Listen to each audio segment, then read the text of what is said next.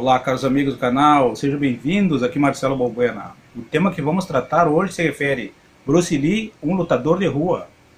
Muitas pessoas, principalmente nos dias de hoje, acreditam que Bruce Lee foi simplesmente um ator e não um lutador.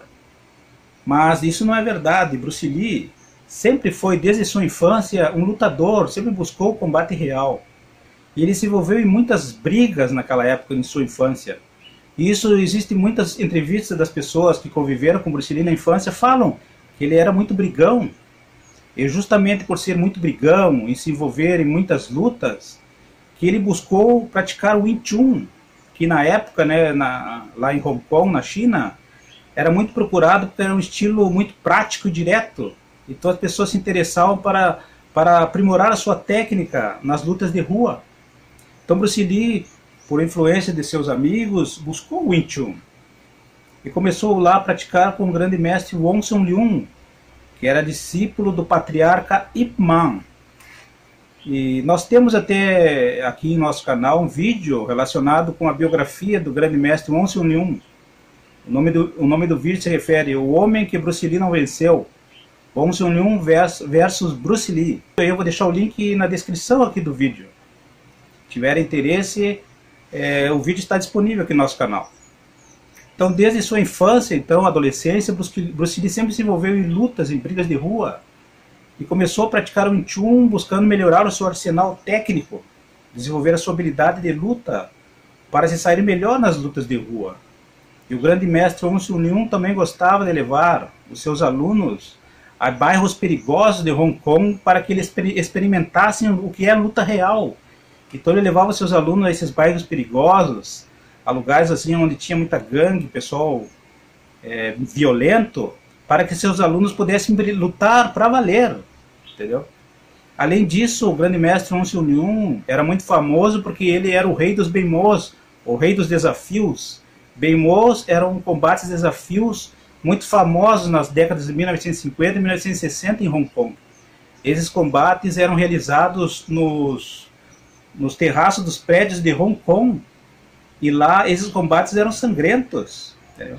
Então, Sun Leung levou o Bruce Lee e em seu primeiro combate que Bruce Lee teve nesses Bemos, ele enfrentou um lutador Shaolin do Norte, que treinava o estilo Shaolin do Norte.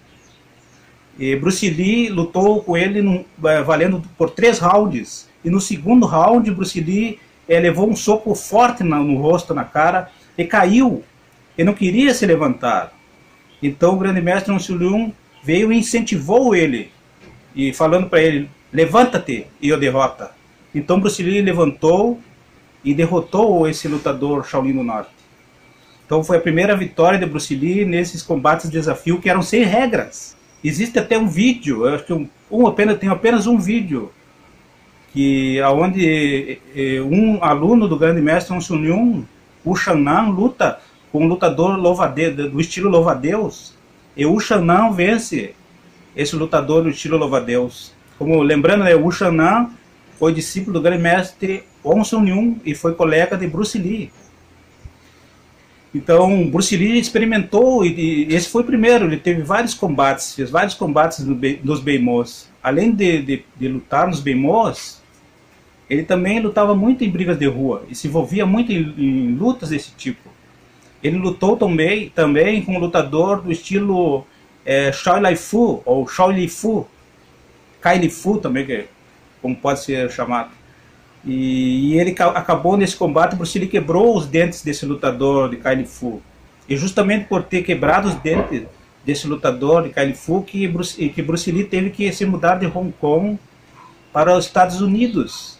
Então veja como Bruce Lee é, ele tinha, ele era muito adaptado à luta de rua. É, muitas pessoas até perguntam assim, ah, mas não tem nada registrado, não existe filmagens. Mas naquela época não é como hoje. Hoje a gente tem a facilidade de, do celular, da gente gravar a qualquer momento.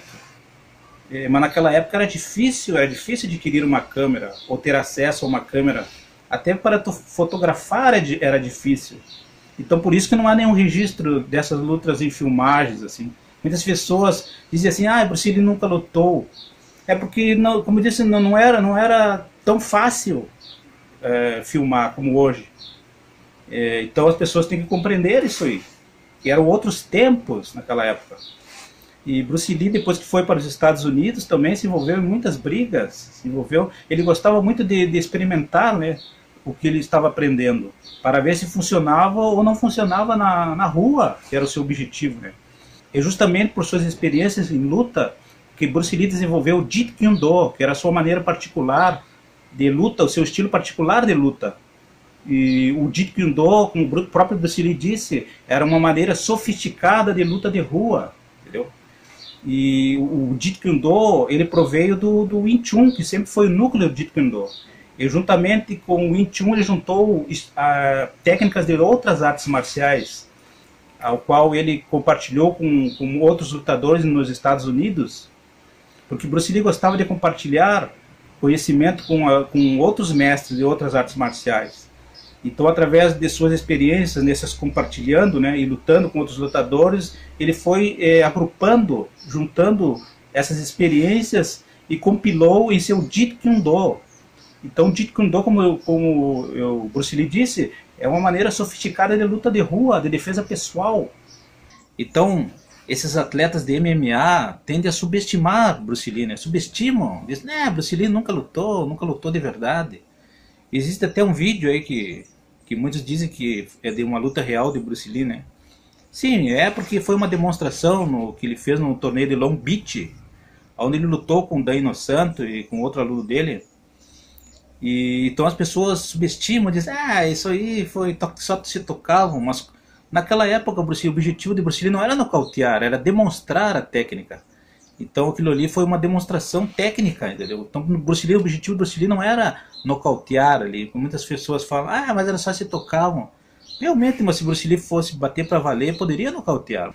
Então o objetivo deste vídeo é de esclarecer as pessoas que não conheceram, que não viveram aquela época de ouro de, dos filmes de Kung Fu, dos filmes de Bruce Lee, e que não tiveram acesso a algumas informações que nós tivemos.